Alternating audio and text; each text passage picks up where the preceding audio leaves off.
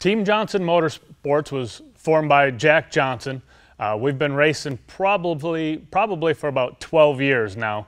Um, we actually started with the world's largest veteran organization, the American Legion. We had a conversation with some of the generals and some of the upper echelon of the American Legion, and they talked about the importance of teaching our young children about prisoners of war and missing in action, and we really need a car out there that has that.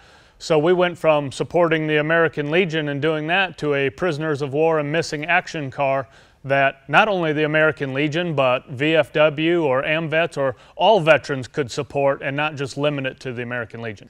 The number 76 POW MIA Freedom Car uh, has always been there for us. A lot of people don't notice, uh, but if you look real close at the 76 in the upper left-hand corner as a small 17, and there's a reason for the 76 number in general is it's short for 1776, which of course is America's birth date. So that keeps it special to us. So the next time you see the Freedom car, number 76, check that left top corner and see if you can't see the 1776. To find out more about the POW MIA Freedom Car and our awareness campaign or My Computer Career, our sponsor, go to freedomcar.org and mycomputercareer.edu.